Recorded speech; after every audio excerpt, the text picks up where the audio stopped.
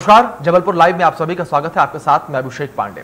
अपने इस खार कार्यक्रम में आज हम बात करेंगे जबलपुर शहर की मध्य प्रदेश सरकार राज्य में शिक्षा को लेकर बेहतर करने के लिए लगातार कोशिशें की जा रही हैं। फिर भी शिक्षा व्यवस्था को जिस ऊंचाई पर पहुँचना चाहिए, वहाँ तक नहीं पहुँच पाई है। मध्य प्रदेश में तमाम मेडिकल डेंटल नर्सिंग और आयुर्वेदिक कॉलेजों को रेगुलेट करने वाले आयुर्विज्ञान विश्वविद्यालय की स्थिति आप जानेंगे तो हैरान रह जाएँगे।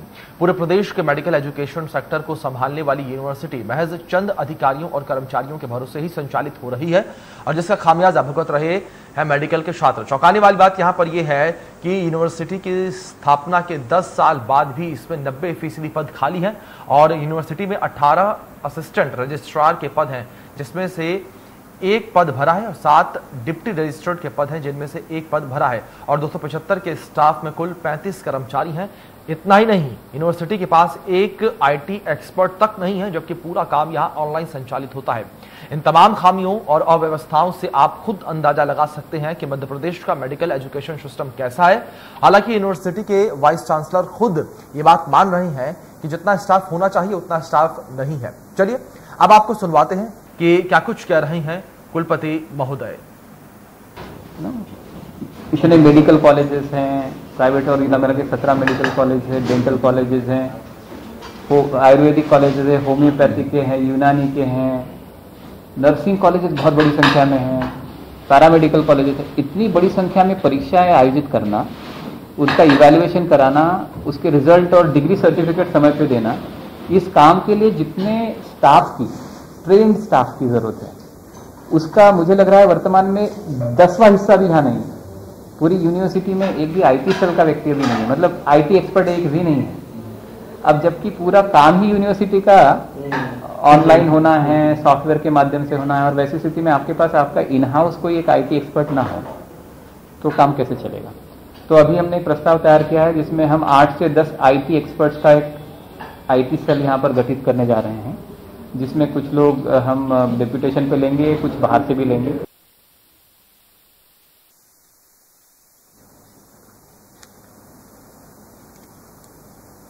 चलिए, इसी मुद्दे पर चर्चा करेंगे और हमारे साथ कुछ मेहमान जुड़ गए हैं। हमारे साथ रविंद्र पचौरी जी जुड़ गए हैं, जो कि भारतीय जनता पार्टी से प्रवक्ता हैं।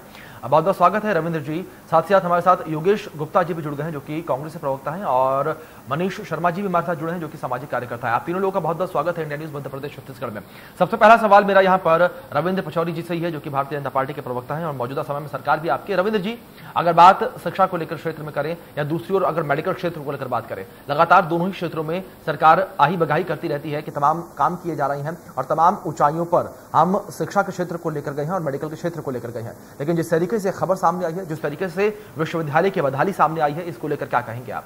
नब्बे प्रतिशत स्टाफ नहीं है यहाँ पर।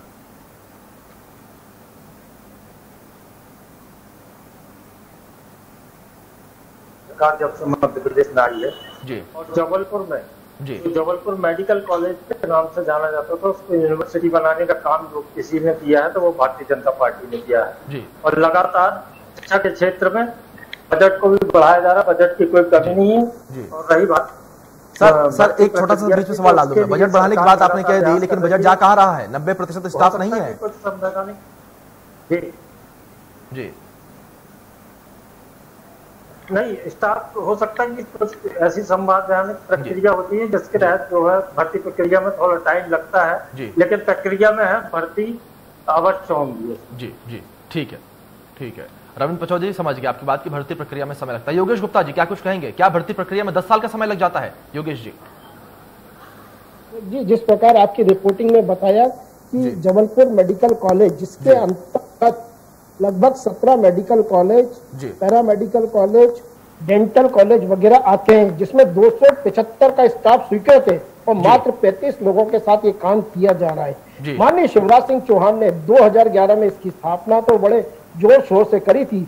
बावजूद इसके 10 साल गुजरने के बाद भी आज जबलपुर मेडिकल कॉलेज की जो दयनीय हालत है वो आपसे और हमसे छुपी नहीं है। कमोवेश अभिषेक जी पूरे प्रदेश में मेडिकल व्यवस्थाओं का यही हाल है। कोविड सेकेंड की वेव में जो मरने वाली मौतों के आंकड़े थे उसकी भी एक बहुत बड़ी वजह पैरामेडिकल स्टाफ की कमी नर्सिंग स्टाफ की कमी डॉक्टर्स की कमी। और मेडिकल व्यवस्थाओं से जो अस्पताल जूझ रहे हैं और कई अस्पतालों की तो कमर टूट चुकी है। जी। ये एक बहुत बड़ा कारण रहा है कोविड 19 में मरने वाले लोगों का। जी तो जी। माननीय शिवराज सिंह चौहान जी घोषणावीर मुख्यमंत्री हैं चौबीस पच्चीस हज़ार से ज़्यादा घोषणाएँ पिछले कार्यकाल में कर चुके हैं और लगातार घोषणा पे घोषणा किए जा रहे हैं नारियल फोड़ते हैं। पता नहीं वो नारियल फोड़ने के बाद उनको याद भी रहते हैं। उन्हीं के एक वित्त मंत्री कहा करते थे जयंत मलैया जी पिछले कार्यकाल में। रविंद्र जी शिवराज जी शिवराज जी की घोषणा इतनी रहती है कि उतना मध्य प्रदेश शासन का बजट ही नहीं रहता। यही हाल होते होते आज सत्रह साल से प्रदेश के मुखिया हैं लेकिन मेडिकल व्यवस्थाओं की हालात उनके डॉक्टर्स की कमी पैरामेडिकल स्टाफ की कमी नर्सिंग स्टाफ की कमी पूरे मध्य प्रदेश के पूरे बड़े शहरों के बिल्कुल साफ़ तौर पर कहा आपने कि तमाम कमियाँ जो है साफ़ तौर पर देखने को मिल रही हैं। एक बार मनीष शर्मा जी का भी इस पर रुख कर लेते हैं उनकी प्रतिक्रिया जान लेते हैं। मनीष जी इस तरीके से समाज का सुधार होगा? छोटा सा सवाल।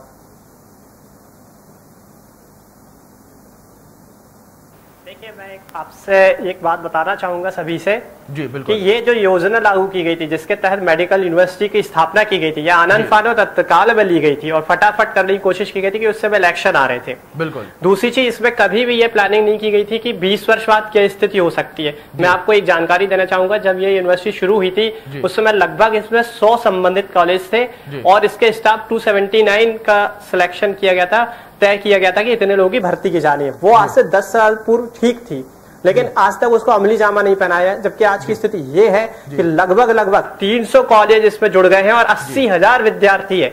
मतलब इन्होंने आगामी 10 वर्ष या 20 वर्ष की कोई योजना नहीं बनाई थी जिसका दुष्परिणाम आज ये है कि पूर्व में जो 10 साल पहले था आज तक नहीं हो पाया क्योंकि लगातार बजट बढ़ता चला गया और आप जानते ही हैं कि मध्यप्रदेश सरकार लगातार कर्ज में डूब रही है। कोई भी योजना बड़ी लाती है कर्ज लेती है। तो वो जो कर्ज लिया गया था इस यूनिवर्सिटी को लगाने का वो भी उन्होंने नहीं किया और कहीं ना कहीं वो चुनाव में या कहीं अन्य जगह खर्च कर दिया गया जिसका आज दुष्परिणाम है। आप देख रहे हैं कि यूनिवर्सिटी की दुर्गति बहुत ज़्यादा है जो होना चाहिए था जो मिलना चाहिए था हमारे पूरे मध्य प्रदेश को मध्य जबलपुर की बात नहीं करता पूरे मध्य प्रदेश को जो मिलना चाहिए था वो नहीं मिल पा रहा है। बिल्कुल बिल्कुल बिल्कुल मनीष जी। योगेश जी आऊँगा लेकिन एक बार रविंद्र जी का रुख कर लेते हैं। रविंद्र जी कहिए किस तरीके से आप यहाँ पर अब जवाब देंगे क्योंकि आप सीधे तौर पर फंसते हुए नज़र आ रही हैं। तमाम योजनाएँ तमाम घोषणाएँ लेकिन जमीनी हकीकत कुछ और। यहाँ तक कि जहाँ आपकी सरकार एक मिनट रविंद्र जी मेरा एक छोटा सवाल और इसमें एड ऑन कर दूँ मैं कि जहाँ आपकी सरकार लगातार ये कहती है कि हम डिजिटल भारत बनाने जा रहे हैं। हम डिजिटल की ओर बढ़ रहे हैं। डिजिटल डिजिटलाइजेशन जो है, वो भारत पर अब आ चुके हैं लोग डिजिटल जुड़ रहे हैं। लेकिन यहाँ पर अगर बात एक आईटी के व्यक्ति की की जाए, वो भी इस यूनिवर्सिटी में मौजूद नहीं है। यानी कि एक भी आईटी का व्यक्ति यहाँ पर मौजूद नहीं है। अगर खुदा ना खास्ते कोई कंप्यूटर खराब हो जाए और किसी बच्चे का कुछ ज़रूरी काम हो तो या तो उस बच्चे को चार पाँच दिन इंतज़ार करना पड़ेगा जब तक आईटी वाला कोई बाहर से आए।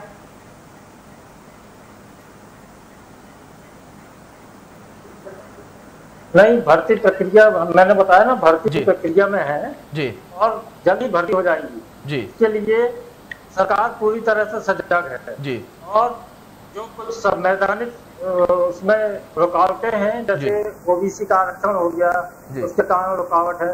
जैसे भी अभी हमने ऑनलाइन जो है भर्ती प्रक्रिया की है।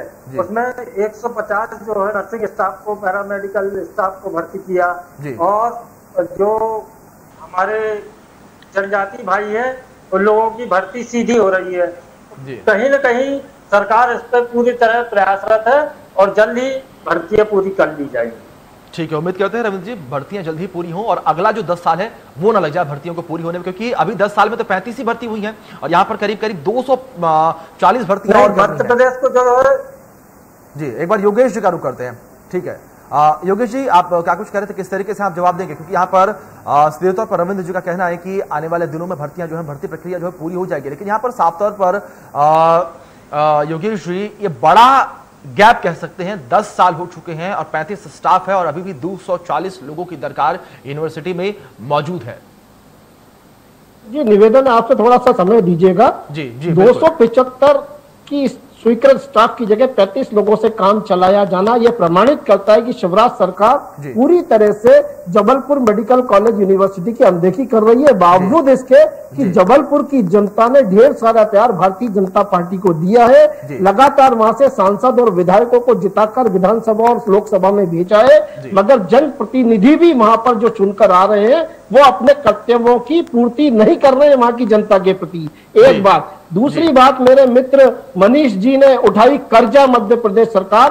कर्जे की हालत यह है कि इनके पास बांटने के लिए तनख्वाहें नहीं है। हर 15 से 20 दिन में 2000 से लेकर ढाई हज़ार करोड़ का कर्जा लेती है शिवराज सरकार। ये पैसा जाता कहाँ हालात ये है प्रमाण के तौर पर बताना चाहूँगा कि चयनित शिक्षक 2200 लोगों की जो भर्तियाँ हो चुकी हैं दो साल से उनको ज्वाइनिंग इसलिए नहीं दी जा रही कि तनख्वाह कहाँ से देंगे। इसी प्रकार कोविड सेकेंड वेव में शिवराज जी ने घोषणा करी थी कि 800 डॉक्टर्स और मेडिकल पैरा स्टाफ की भर्ती की जाएगी।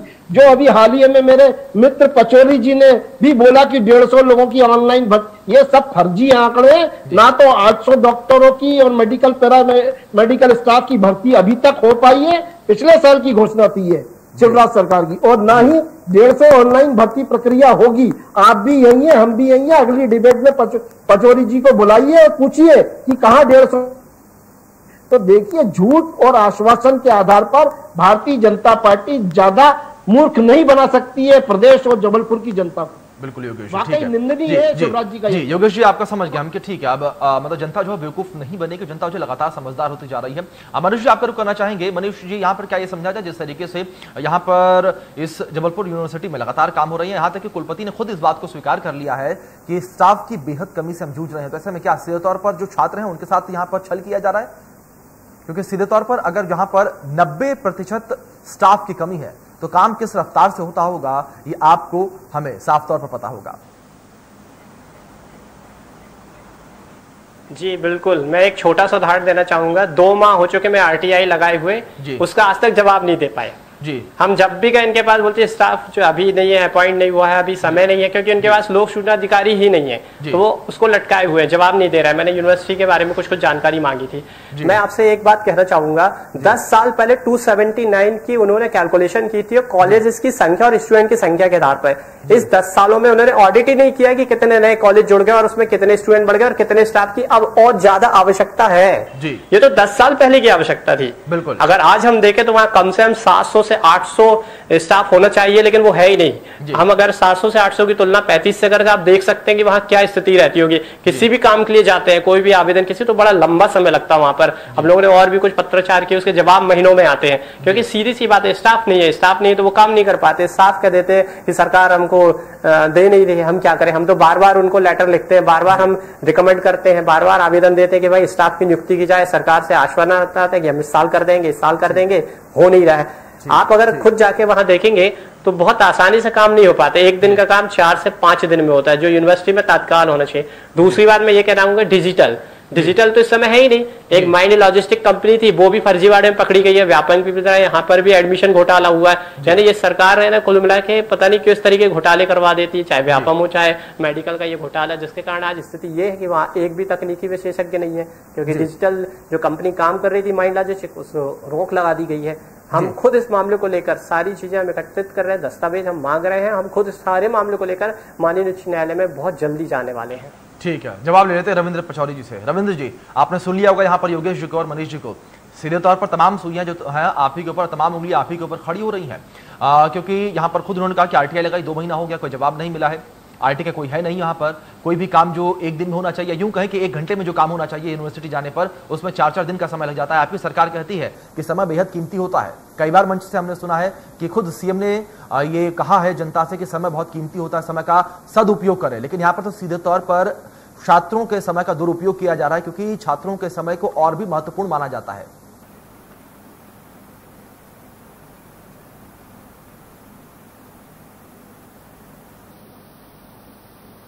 ये हमने मेडिकल यूनिवर्सिटी बनाई सुपर स्पेशलिटी बनाई। यहाँ पे जी। जो है अब छात्र जो है मरीजों का परीक्षा और चिकित्सा शिक्षा में बेहतरी के लिए हमने काम किया है। लेकिन एक मिनट रविंद्र जी एक बार रोकना चाहूँगा रविंद्र जी रविंद्र जी एक बार रोकना चाहूँगा आपको। आप आपसे जब कोई और सवाल पूछा जाता है जब आप लोग घिरने लगते हैं तो अब आप लोग तमाम योजनाएँ गिनाने लगते हैं कि हमने वहाँ पर वो किया फला जगह ये कर दिया फला जगह ये कर दिया ढिंका जगह ये कर दिया। लेकिन मौजूदा समय में आप जबलपुर के इस मेडिकल कॉलेज को तो देखिए यहाँ पर आपने कुछ नहीं किया। इस पर बात करिए ना आप कि क्यों नहीं किया कब होगा कब तक होगा कब स्टूडेंट्स की जो कह सकते हैं कि जीवन शैली है वो पटरी पर लौटेगी। जबलपुर मेडिकल जी। रविंद्र जी जबलपुर मेडिकल कॉलेज से जुड़कर ही जवाब जबलपुर दीजिएगा। मेडिकल की ही बात कर रहा हूँ मैं आपसे। जी, जी। और जी। हाँ जबलपुर मेडिकल की ही बात मैं कराऊँगा आपसे। जी। जबलपुर मेडिकल को यूनिवर्सिटी अगर बनाने का किसी ने काम किया तो भारतीय जनता पार्टी की सरकार को ठीक है, शिवराज जी ने किया। ठीक है। हमने सुपर स्पेशलिटी हॉस्पिटल बनाया मध्य प्रदेश का कैंसर यूनिट यहाँ इंस्टीट्यूट बना। जी। ये सब छात्रों के लिए ही है। जी। और जल्दी ही अगर भर्ती प्रक्रिया है, वो अभी जल्दी हो जाएगी। ठीक है ठीक है ठीक है। आपका लगातार यही कहना है कि जल्दी भर्ती प्रक्रिया पूरी होगी। योगेश जी, तमाम योजनाएँ, तमाम वादे, लेकिन पूरा कुछ नहीं होता दिख रहा। कभी अपनी बात में बा, मुद्दा उठाया था भ्रष्टाचार का घोटालेबाज का? वाकई घोटाले घोटालेबाज की सरकार है व्यापम पार्ट वन के बाद व्यापम पार्ट टू भी हो चुका है। अभी हाल ही में कुछ दिन पहले आदरणीय वीडी शर्मा जी से जुड़े हुए लोगों के नाम उजागर हुए थे। तो मध्य प्रदेश की जनता ने शिवराज जी से त्रस्त होकर जनादेश छीना था 2018 में। षडयंत्र पूर्वक पुनः शिवराज जी ने कुर्सी उठाई कुर्सी हत्या ली कोई बात नहीं लेकिन भारतीय जनता पार्टी ने उस कुर्सी पर उसी मुखिया को पुनः बिठा दिया जिससे मध्य प्रदेश की जनता पिछले पंद्रह वर्षों में त्रस्त हो चुकी। जी। बजाय शिवराज जी के अगर कोई और प्रदेश का मुखिया होता तो मैं समझता हूँ हालत थोड़े से बेहतर हो सकते थे। शिवराज जी का एक ही काम है 24 घंटे केवल झूठी घोषणाएँ करना झूठे आश्वासन देना भाषण और आश्वासन। ये शिवराज जी का शासन है। ठीक है मनीष जी का रुख करते हैं। मनीष जी यहाँ पर दस साल का समय बीत चुका है, आप भी भली बात ही देख रही हैं और आप तो यूनिवर्सिटी के कई चक्कर भी काट चुके हैं। और दस साल में भर्ती नहीं हो पाई, लेकिन रविंद्र जी का यहाँ पर कहना है कि जल्द ही भर्ती हो जाएगी। आपको क्या लगता है जमीनी हकीकत को देखते हुए कि क्या, कि जल्द भर्ती प्रक्रिया पूरी होगी? या आपको भी लगता है कि आने वाले चार, दो साल, तीन साल तक भी ऐसी ही परिस्थितियाँ बनी हुई दिखती रहेंगी? चिकित्सा विभाग की बात करता हूँ उसी से रिलेटेड है। 2780 भर्ती होना है खाली पड़ी है पोस्ट। वैकेंसी निकाले उनको दो साल से ऊपर हो चुके ढाई साल करीब होने वाले हैं सरकार को लेकिन अभी तक कोई भर्ती नहीं हुई। और हमको नहीं लगता है कि जब खास डॉक्टर्स की जो कमी बड़ी संख्या में कोविड में सामने आई थी उसमें वो डॉक्टर्स की भर्ती नहीं कर पाए तो एक स्टाफ की भर्ती कैसे कर लेंगे ये? किसी भी विश्वविद्यालय में मुझे नहीं लगता और जिस तरीके से बार बार हम सुनने में आता है सरकार की आर्थिक स्थिति अच्छी नहीं है तो कहाँ से वो हो पाएगा? पैसे ही नहीं इनके पास साफ़ समझ में आता है हर हफ़्ते पंद्रह दिन में आता है दो हज़ार करोड़ उधार लिए। मनीष जी मतलब समय कम है एक बार छोटा सा तो छोटा जवाब रविंद्र जी से? लेता हूँ मनीष जी मेरे को नहीं समय कम है मेरे पास। एक बार रविंद्र जी का रुख करता हूँ। रविंद्र जी लगातार कहा जाता है सरकार की ओर से कि तमाम रोज़गार के अवसर पैदा किए जाएँगे युवाओं को रोज़गार दिया जाएगा लेकिन यहाँ पर तमाम रोज़गार के अवसर सामने पड़े हैं। साफ़ तौर पर कोई अगर आँख बंद कर ले तब भी उसे दिख जाए कि यहाँ पर इतने रोज़गार हैं लेकिन नियुक्तियाँ नहीं हो रही हैं।